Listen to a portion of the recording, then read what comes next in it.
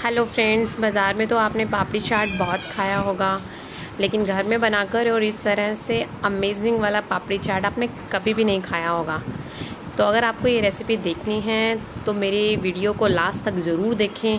मेरे चैनल को like share and subscribe करना बिल्कुल ना भूलें। तो चलिए स्टार्ट करते हैं। बिल्कुल शॉर्ट रेसिपी है, आपको बहुत मज़ा आएगा इसे देखने में, क्योंकि झटपट से तैयार होने वाली रेसिपी है। तो सबसे पहले हमने क्या किया है कि मैंने यहाँ पर पाँच, चार से पाँच पापड़ी ले ली है। आप चाहें तो इसे घर में भी बना सकते हैं और चाहें तो इसको मार्केट से भी मंगवा सकते हैं। तो यहाँ पर मैंने पापड़ीज़ ली हैं। अब इसके ऊपर मैं सबसे पहले लगाऊँगी इमली की चटनी। जब तक पापड़ी, चाट या दही बल्ला में इमली की चटनी ना हो तो मज़ा नहीं आता है आपको पता है। तो सबसे पहले हम लगाएँगे यहाँ इमली की चटनी। और साथ ही अब मैं इसमें ऐड करूँगी यार, आप देख रहे हैं कि बिल्कुल भी हमें बिना गैस जलाई ये बनानी है। चाट सिर्फ़ दस मिनट में रेडी हो जाएगी। और यहाँ पर मैं थोड़े से कटे हुए प्याज लगा रही हूँ इसके ऊपर।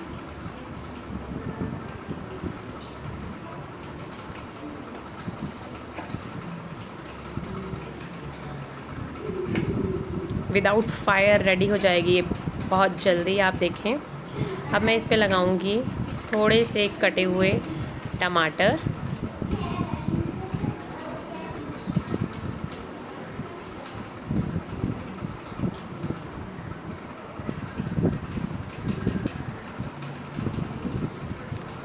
साथ ही अब इसमें मैं लगाऊँगी। तो यहाँ पर अब मैं सब सब पापड़ी के ऊपर कटे हुए खीरा लगा दूँगी। आप चाहें तो स्वीट कॉर्न भी इसमें ऐड कर सकते हैं बॉयल्ड पोटैटो भी इसमें ऐड कर सकते हैं, जो आपकी इच्छा हो इसमें ऐड कर सकते हैं। इवन पनीर भी, आप कद्दूकस करा हुआ पनीर भी इसमें ऐड कर सकते हैं। तो ये सारी पापड़ी रेडी है।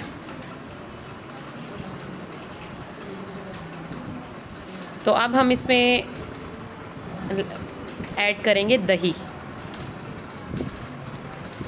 दही को मैंने यहाँ पर फेंट कर रखा हुआ था, उसमें मैंने पाउडर शुगर भी ऐड करी थी उससे टेस्ट बहुत अच्छा हो जाता है। तो ये थोड़ी थोड़ी दही मैंने सारी पापड़ी के ऊपर डाल दिया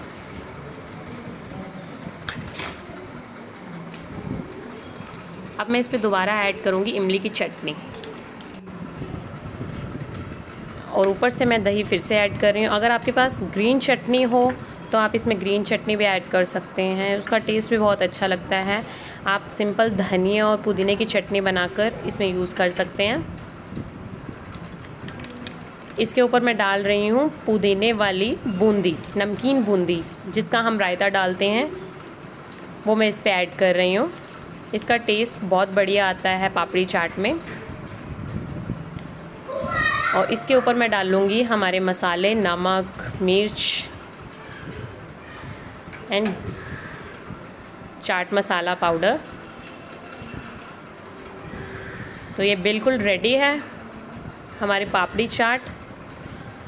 तो अगर आपको ये रेसिपी अच्छी लगे तो आप अपने घर पे ज़रूर बनाएँ, क्योंकि बिना फायर के ही ऑन के ही बन जाती है। तो मिलते हैं अगली रेसिपी में। Thank you so much